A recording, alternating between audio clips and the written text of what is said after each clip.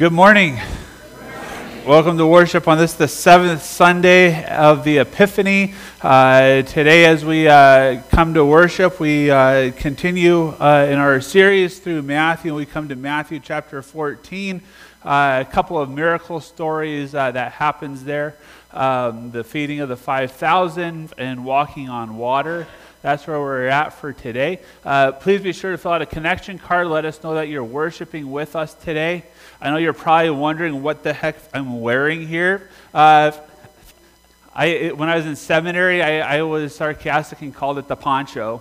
Uh, it, it's actually it's a chasuble, and before before all the big to dos about about um, about vestments and all that. Uh, the chasuble served a very practical purpose. And I thought today was just such a day that warranted wearing it. And the, those big, drafty, cold cathedrals of Europe, the chasuble served as an extra layer so that the pastor could be warm as well. So I figured it's an appropriate day to pull it out. I do not normally wear a chasuble, but it's cold.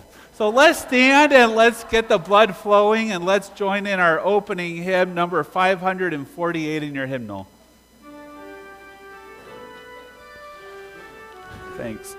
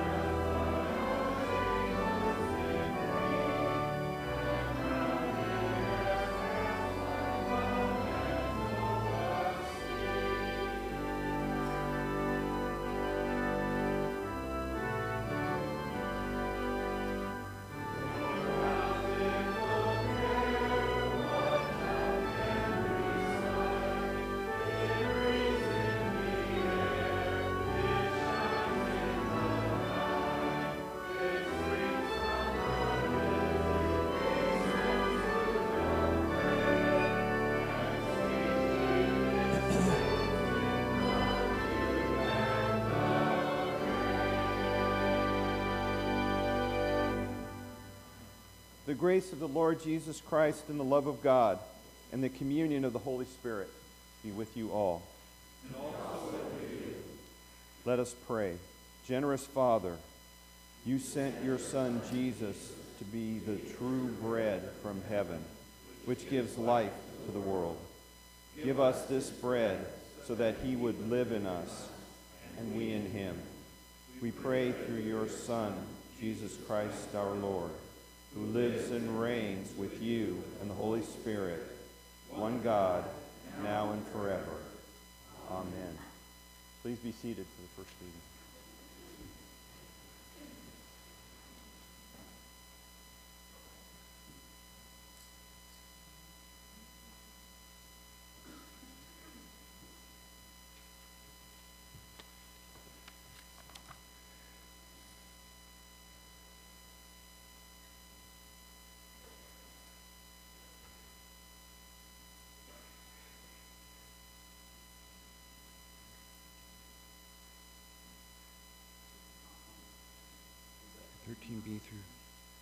No, it didn't. It's.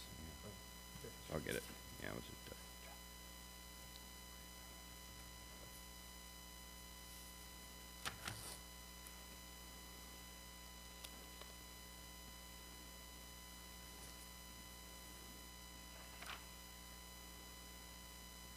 Okay, the first reading is in Psalm, verse, um, Psalm verse or chapter 145, verses 1 through 4, and then 35, 31 through 35.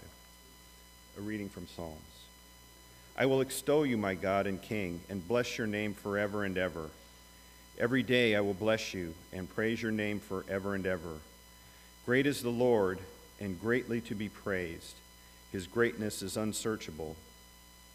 One generation shall laud your work to another and shall declare your mighty acts.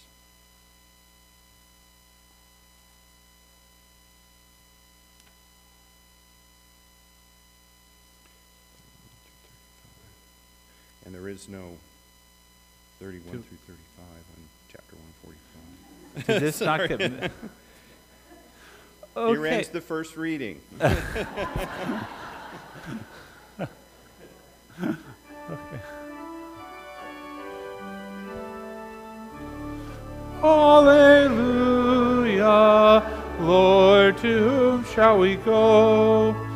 You are the words of eternal life. Hallelujah.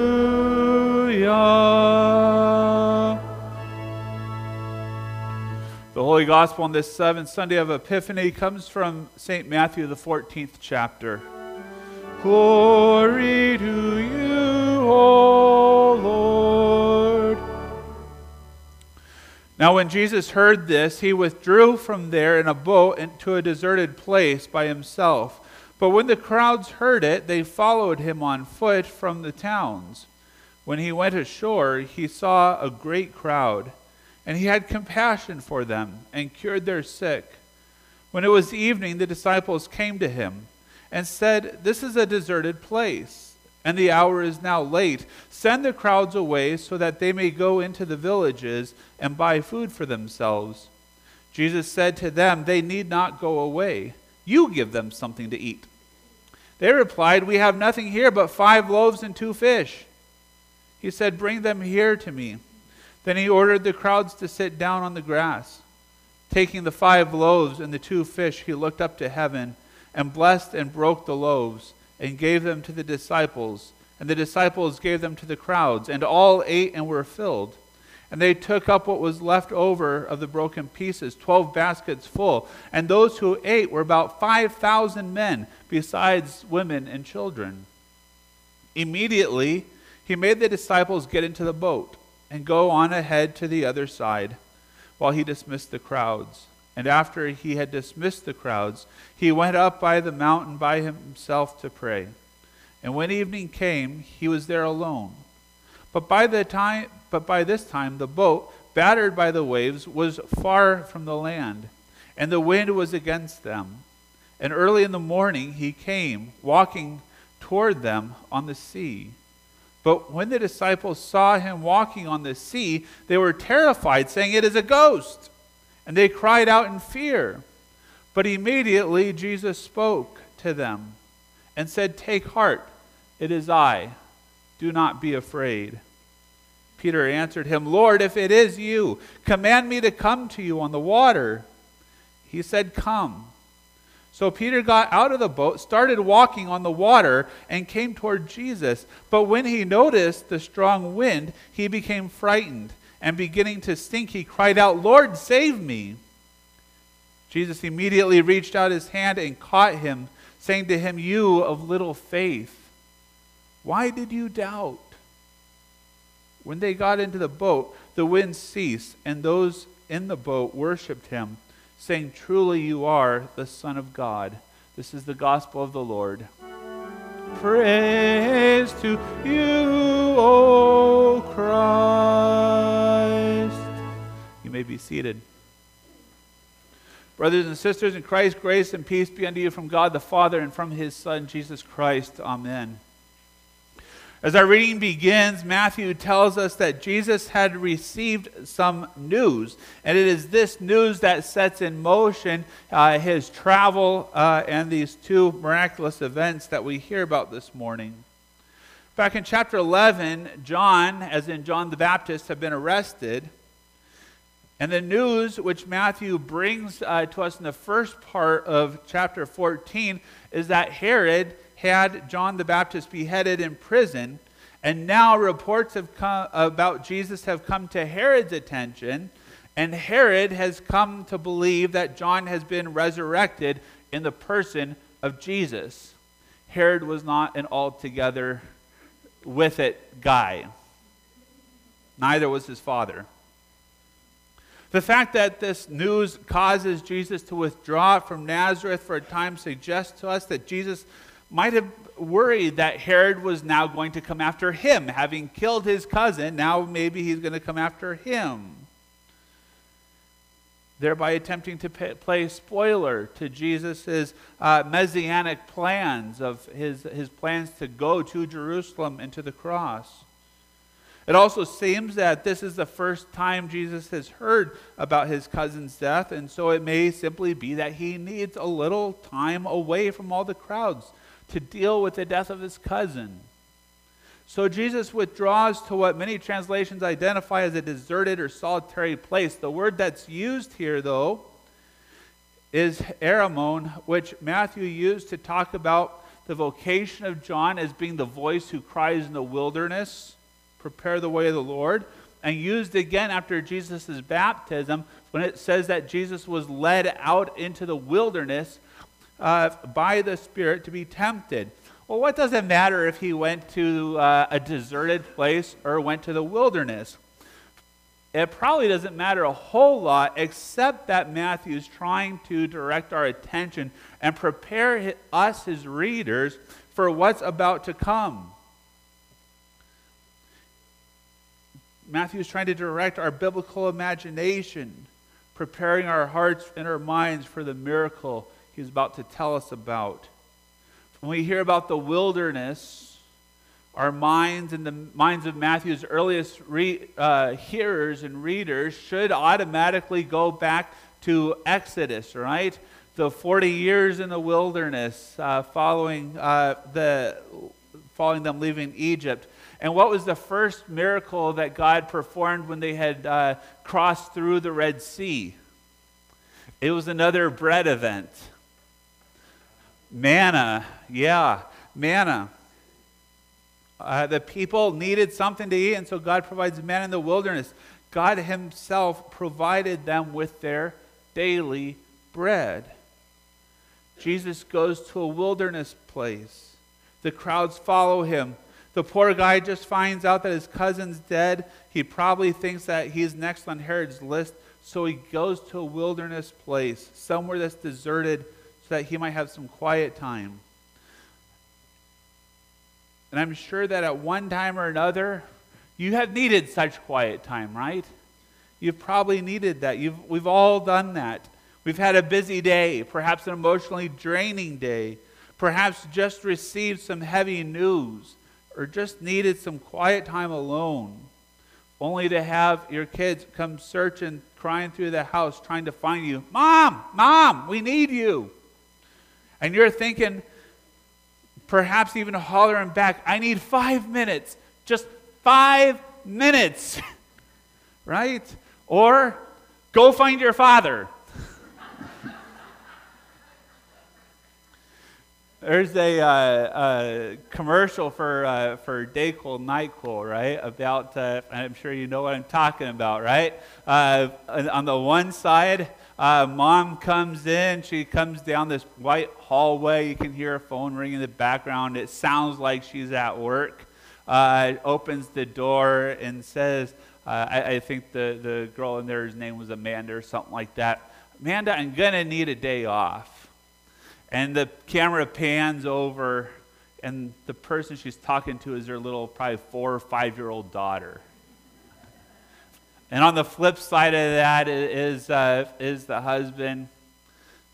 Julie, I'm sorry, I'm going to need to take a sick day. And the camera pans over to Julie, who's dressed in her wedding gown with her flower girl by her side, right? Uh, moms and dads don't get to take a day off.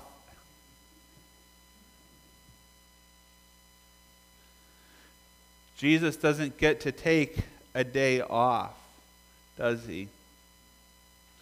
Jesus doesn't tell the crowds that he's going to take a sick day or a personal day. He doesn't tell them to go find some other miracle worker or to come back later. But what does he do? The text tells us that he had compassion on them. He had compassion on them, and he began to cure their sick. He put his own needs to the side for a time, and he tends to the needs of the crowds who followed. As evening was advancing, the disciples came to Jesus, saying, "This is a wilderness place." We have that. We have that. Uh, that uh, eremon word again. This is a wilderness place, and they encouraged Jesus to send the people away so that they may buy food for themselves, which actually looks like a charitable act, right? These people need to eat. Jesus, let them have some time. You know what? You know what happens when you give preachers a microphone, right? You might never get it back. Although in this case, Jesus is not preaching, he's healing. Nonetheless, the point still stands, I think. They send them out to buy food. But what does Jesus do? He reteaches them that petition of the Lord's Prayer that we heard just a few weeks ago. Father in heaven, give us this day our daily bread. Hmm? And as God caused the manna in the wilderness to appear with the dew, so too Jesus from five loaves and two, of bread and two fish fed the entire crowd. And the text tells us that there were 5,000 men plus women and children. it's like the entire city of Tehachapi was, which I know is not the biggest city, but still, that's a lot of people to feed. It's like the entire city of Tehachapi was out there, and Jesus fed the entire city off of five loaves and two fish with baskets left over. This should be a this should not be a total surprise to us when because last week we heard a parable about bread too right the kingdom of heaven jesus said is like yeast that a woman took and mixed in with three measures of flour what else would we expect to have happened with this bread but for it to expand and to grow? This is what Jesus does. He feeds our bodies, He causes the kingdom to grow. He feeds our bodies and He feeds our souls. He saw the whole need of the crowd that had followed him, and he healed both their sick and he fed the, he filled their stomachs. He satisfied their needs as the psalmist declares, the Lord is faithful in all his words and gracious in all his deeds. The Lord upholds those who are falling and raises up all who are bowed down. The eyes of all look to you, and you give them their food in due season. You open your hand in sat- satisfying the desire of every living thing. The food that this, the psalmist mentions here is not merely the bread and fish kind of food that satisfies the stomach is food that, does, that satisfies the desires of the whole person. Jesus is the living manifestation of the manna from heaven. He is the living water that swells up to eternal life. He is the light that shines in the darkness that darkness cannot overcome. When Jesus finished serving this huge crowd, the text says that immediately he made the disciples get into the boat and go ahead and of him to the other side while he dismissed the crowds. And having dismissed the crowds, now he goes up to the mountain to pray. Now, having served the needs of this crowd, he gets his quiet time that he was looking for. Finally, he gets some alone time, some quiet solitude to deal with the death of his cousin and having been renewed in the Spirit by, the, by, his, uh, by his time spent with the Father, Jesus now walks down the mountain. And if it wasn't enough to walk down the mountain, he continues walking. And like an amphibious vehicle, he just keeps on walking right out onto the lake. Many people want to go to great lengths to explain how this may have actually happened. Well, maybe there was a sandbar out there that Jesus knew about, they say. But the boat was there, right? And these are experienced fishermen. They knew this lake like the back of their hand. And they would not have gone to a place where there was a sandbar where their boat may have just run up uh, run up onto and been it's gotten stuck. Jesus walks on the water. What more can we say about that? Our enlightened minds do not like this. Our enlightened minds, they don't like this. There's no way it could actually have happened, we think. But there's no way that Jesus could have fed 5,000 people on five loaves and two fishes either. There's no way, no other way to explain the miraculous healings he performed. I am all about faith seeking understanding. There, there's, something, uh, there's something wonderful in, in, in exploring how things may have happened. Uh, it's fascinating, like, uh, for example, um, uh, the, the Star of Bethlehem. Uh, it could have been Venus, Mercury, and Mars all coming into a line together. It's some histor- fascinating historical scientific inquiry. Or maybe God put a special star in the sky. It's not beyond Him to do that. But sometimes it's worth taking a miracle for what it is a miracle, a revealing of the mystery and awesome power of God to do the inexplicable. Jesus, the Son of God, walked out onto the lake. He walked on the water. As I read this passage this week, my mind couldn't help but go back to Genesis 1, the very beginning of, of the Bible, in those opening lines where it, it, talks about how in the beginning God created the heavens and the earth. And it says that the Spirit of God hovered over the face of the deep. It hovered over the face of the deep. It hovered over the waters. Here, Jesus, the Son of God, now is hovering, as it were, over the waters. He's displaying his authority as Lord over the creation. Now comes Peter. Well, the whole disciples, they see him out there, right? They, they, see, they see something out there. It's been very stormy and uh, they've been blown off course, and they and they know their enlightened minds know that you can't a person cannot walk on water, so they assume it to be a ghost that's coming to them. And Jesus, knowing that they are afraid, hearing their cries, says, Fear not. Do not be afraid. And Peter says uh, the, the, the, word there uh, in Greek is ego eimi, which is a very important word, especially in John's gospel. This ego eimi phrase is the phrase that Jesus uses to say, I am the bread of life. I am the living water. I am the way, the truth, and the life. This ego eimi is the name is the Greek form of the holy name of God. I am that I am. And hearing this, the disciples have at least some peace about what's going on here, about this vision that is happening before them. Hearing that holy name, Peter calls out to him, Lord, if it is you, let me come to you on the water. I want to do what you're doing. Who doesn't? How often have you wished that you could walk on water? I mean, that would be so cool, right? Peter cannot step out of the boat, though, unless he's called. He cannot step out on the boat unless he's called, unless Jesus issues that divine command come to me. He cannot get out of the boat. We cannot follow Christ unless He has first called us.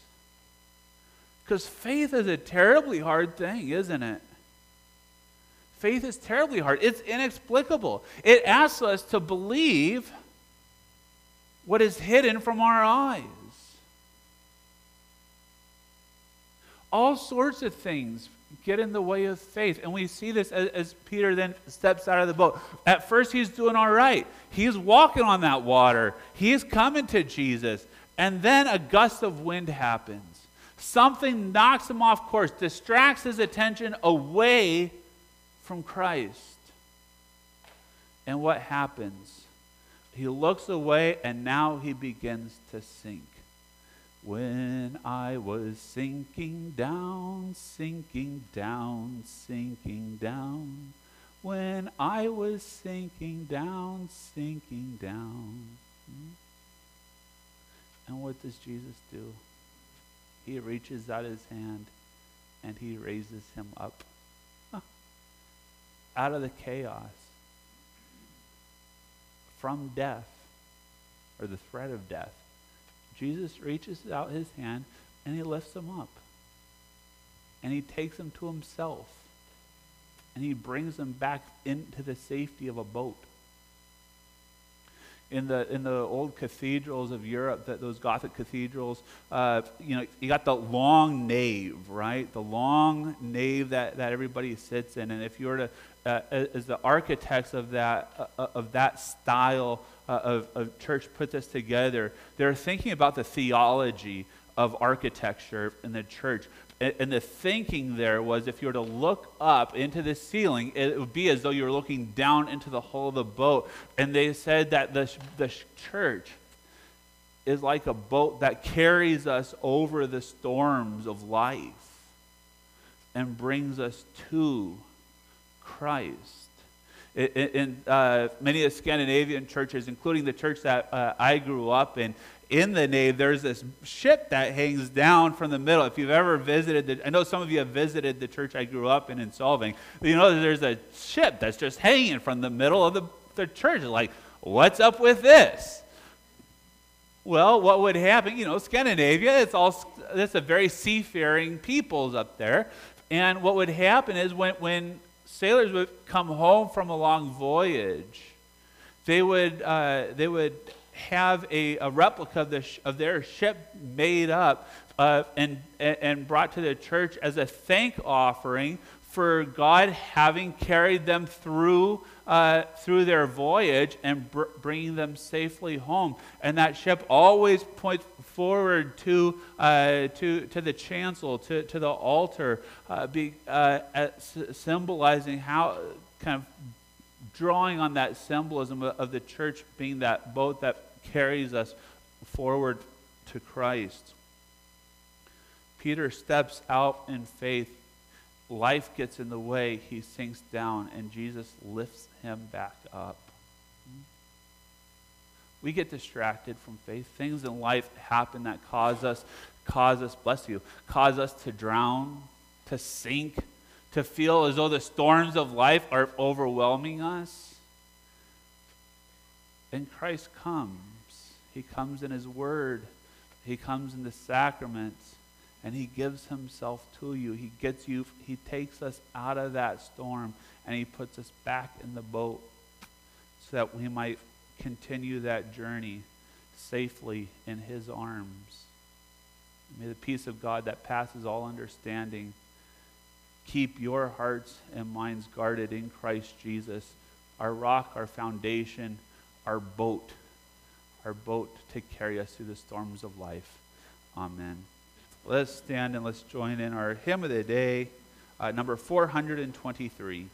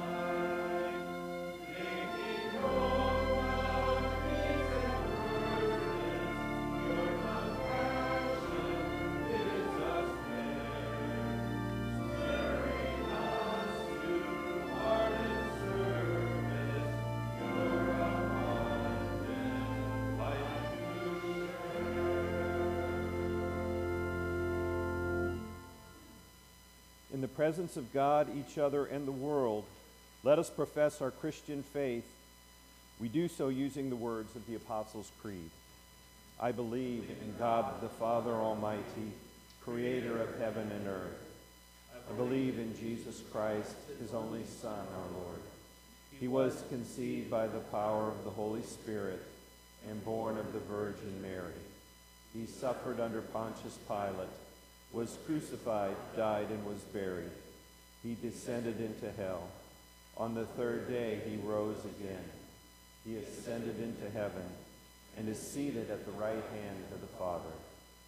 He will come again to judge the living and the dead.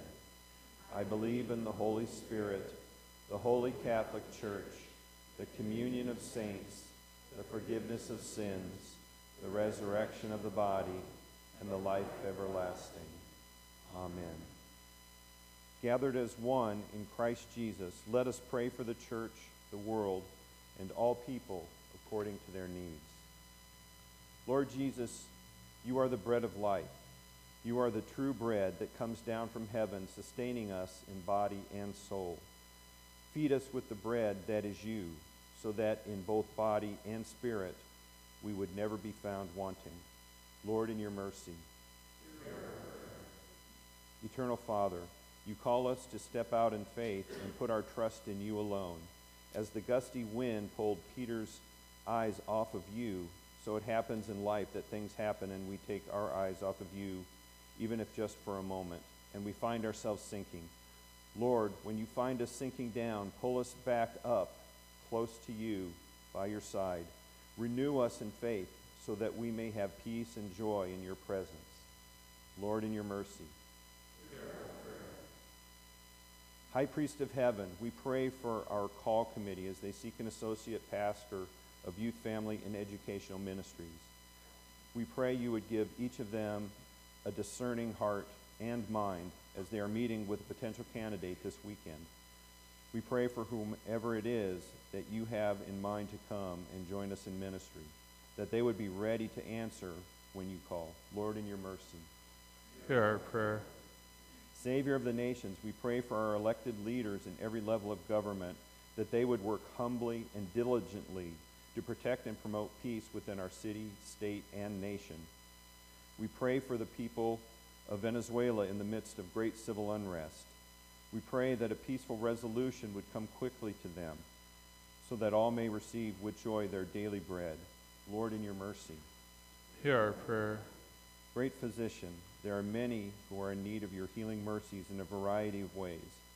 We lift to you all those in our prayers, in our prayer list this morning, and all those whom we name now before you, either silently or aloud.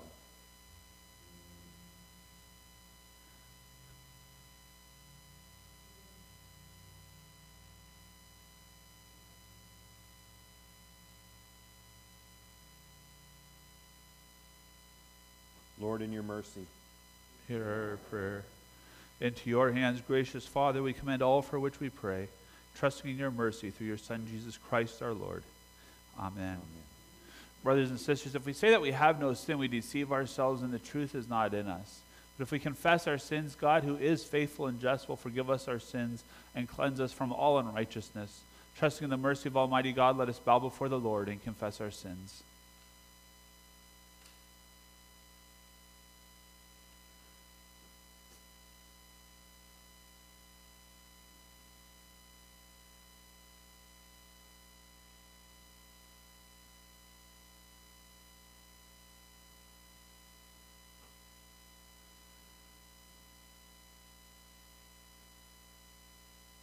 Most merciful God, we confess that we are in bondage to sin and cannot free ourselves.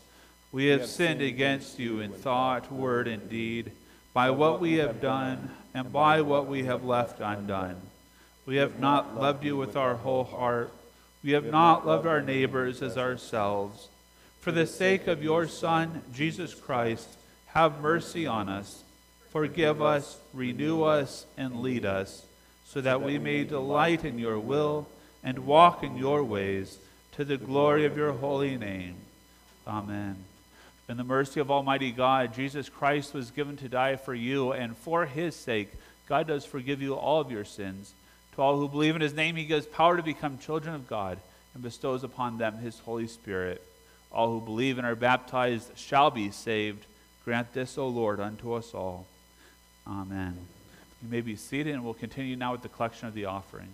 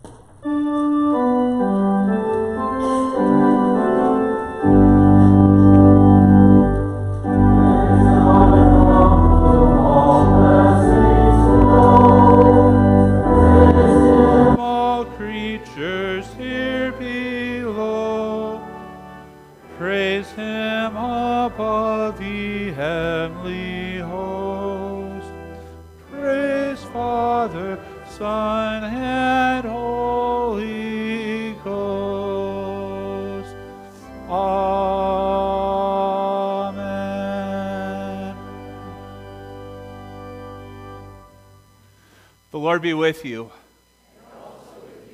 Lift up your hearts.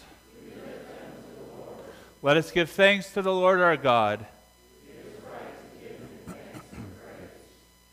It is indeed right and salutary that we should at all times and in all places offer thanks and praise to you, O Lord, Holy Father, through Christ our Lord. Sharing our suffering, he lived among us to reveal your glory and love, that our darkness would give way to his own brilliant light. And so, with the church on earth and the hosts of heaven, we praise your name and join the unending hymn.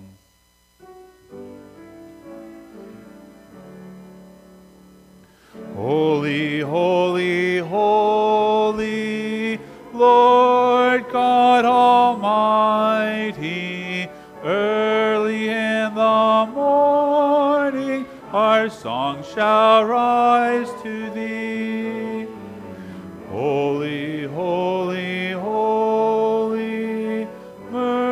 Merciful and mighty, God in three persons, blessed Trinity. On the night in which he was betrayed, our Lord Jesus took bread, and after giving thanks, he blessed it, broke it, and gave it to the disciples, saying, Take and eat. This is my body, which is given for you. This do in remembrance of me. And in the same manner, he took the cup, and giving thanks, he blessed it and gave it to the disciples, saying, Drink of it, all of you. This cup is the new covenant in my blood, which is shed for you and for many for the forgiveness of sin. This do in remembrance of me. For as often as we eat of this bread and drink of this cup, we proclaim our Lord's death until he comes again. Lord, remember us in your kingdom and teach us to pray. Our Father, who art in heaven, hallowed be thy name. Thy kingdom come, thy will be done, on earth as it is in heaven. Give us this day our daily bread, and forgive us our trespasses as we forgive those who trespass against us. And lead us not into temptation, but deliver us from evil. For thine is the kingdom, and the power, and the glory, forever and ever. Amen. All is ready. You may be seated. Communion today is by intinction. Receive the wafer and dip it into the cup.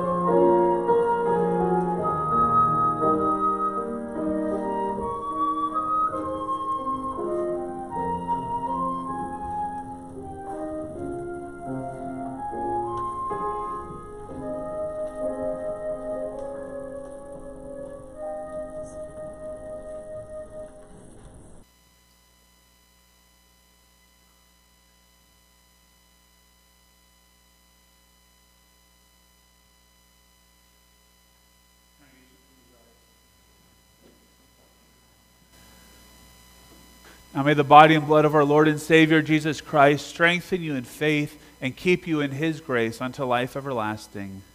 Amen. We join in our closing hymn number 467.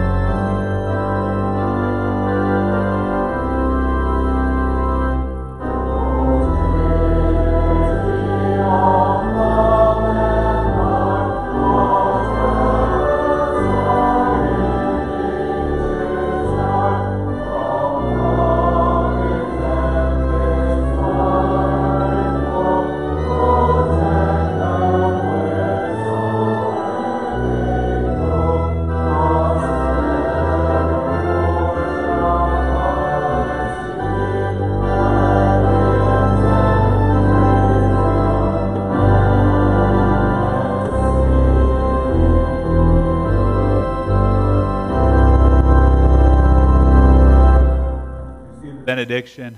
May the Lord bless you and keep you. The Lord make his face to shine upon you and be gracious unto you. The Lord look upon you with favor and grant you his peace. In the name of the Father, and of the Son, and of the Holy Spirit. Amen. Please be seated for a brief moment of announcements. A few things to highlight. If you are interested in the LA mission trip, please let me know today. Uh, we need to, as we need to get our spot reserved for that. Uh, also, uh, Lent is just about here. Uh, next week, uh, yes, next week, Wednesday is uh, Ash Wednesday. We'll have two opportunities for imposition of ashes. Uh, yeah, the, the following week. week. Yeah. I said that, right? Yeah. Oh, oh no, no, no. A week from Wednesday. I hear there's a lot of early risers, and so we will have a 5:45 a.m. drive-through imposition of ashes for those of you who may want to get that on your way to work.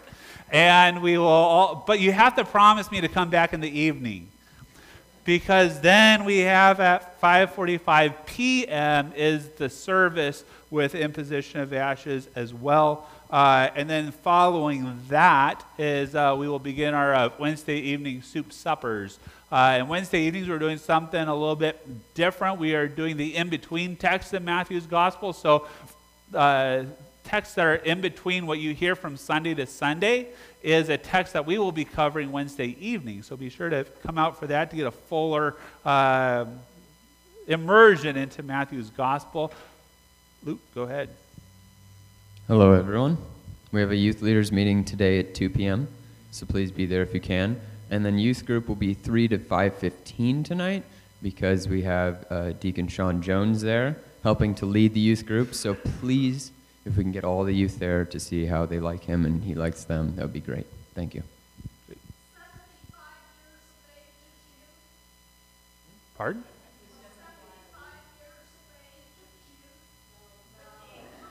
Oh, no, 75 is not youth. Middle school and high school is youth.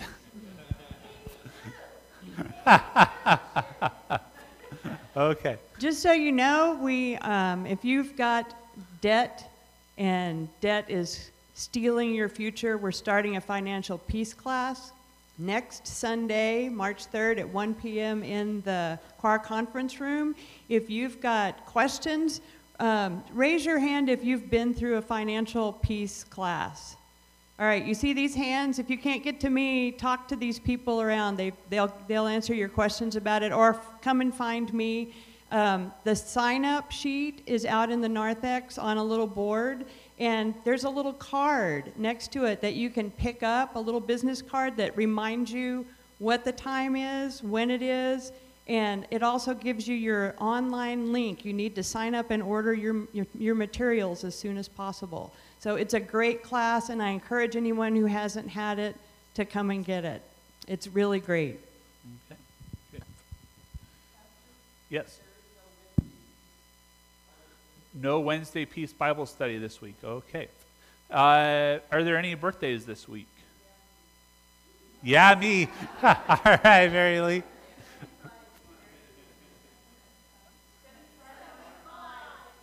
Oh, 75 tomorrow. All right. Very good. She's in the youth group. You know, some people never graduate, right? No. Uh, any other birthdays this week? All right, let's sing. Happy birthday to you. Happy birthday to you. Happy birthday, dear Happy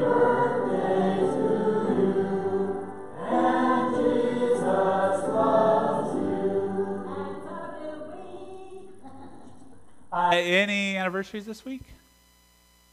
None. Okay, go in peace and serve the Lord.